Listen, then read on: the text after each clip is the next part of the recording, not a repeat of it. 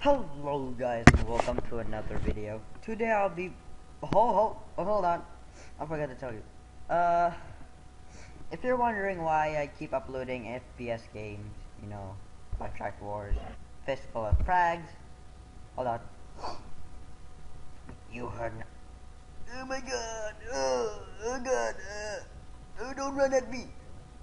Nice mustache. Oh, sorry. Uh, it's basically because this theme wait this month's theme? Yes theme. Meaning that every month has a different theme. This month's theme is FPS wow. Like you didn't know that. So yeah uh meaning I'll like do uh I'll mostly do that. Yeah I'll mostly I'll mostly sorry, I I'll mostly uh, play FPS games, like 90% regular.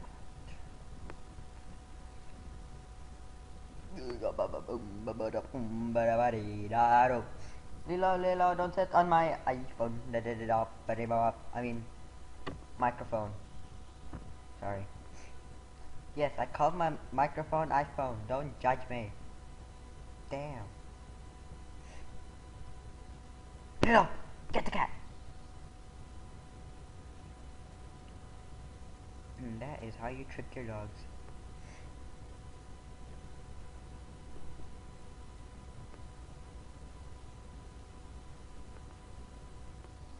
So yeah, I'm probably gonna pause through this.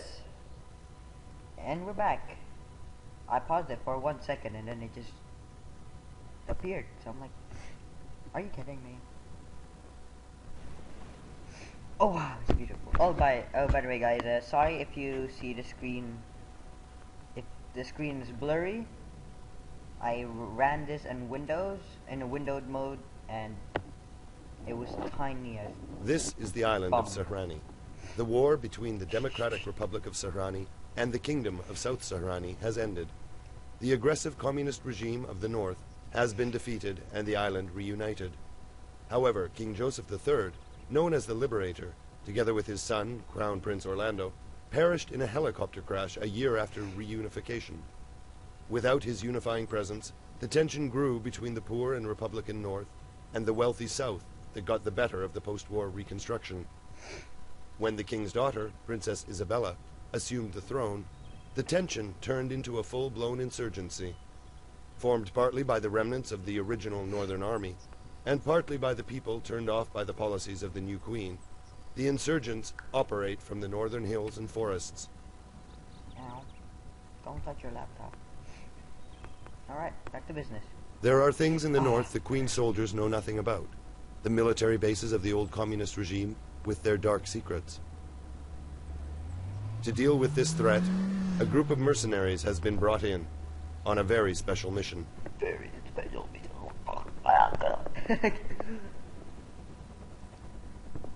Oh, oh, am am I, can I play now? Oh, you can see trees rendering.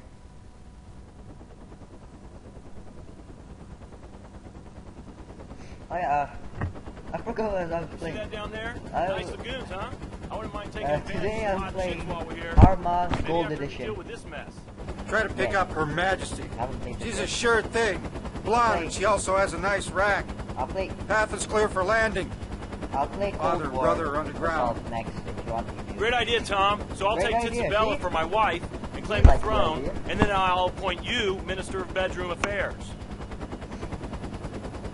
If she were merely running all over Paris buying some designer rags, everyone would be better off today.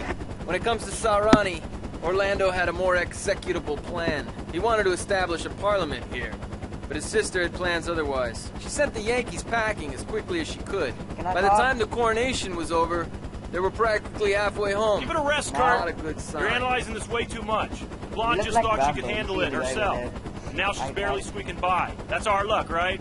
If she had Marines at her disposal, she wouldn't want to dish out cash for military you hear that in the advisors. She isn't the blonde bimbo you think she is.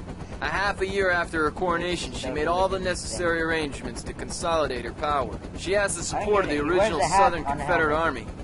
And on top of that, she has her own Other personal guards. Helmet on hat. They're always the guy next to him proficient, real first-rate guards. Instead of giving the job to them, she gave it to us ah. mercenaries. Let me spell it out for you guys in case you still don't get it. This mission will be a pain in the ass. You don't say. Yes, sir. You know our Yeah, how would I agency know? I haven't even played We are yet. cooperating with the legitimate and internationally recognized government of South Sahrani on But missions guys, approved by our headquarters. episode. Oh no, he's not wearing a knife badge.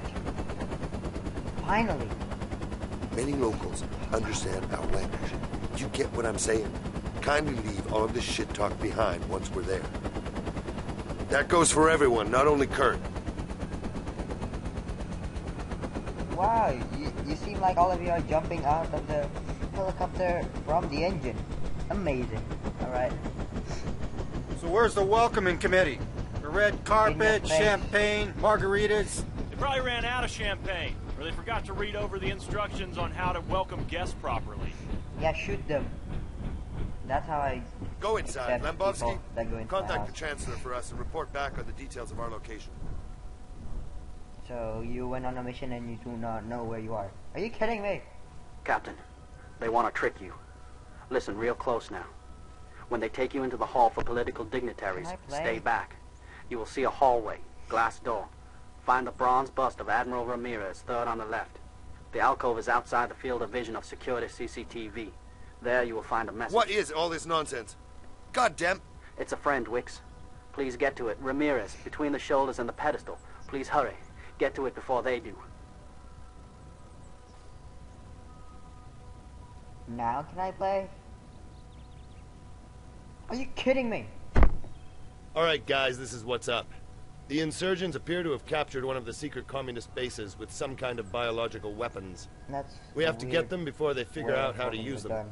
It would be too risky to go straight in without good intel. However, one of the Queen's men operating amongst the insurgents has a map of the base. We've got to get... Oh, oh, yes.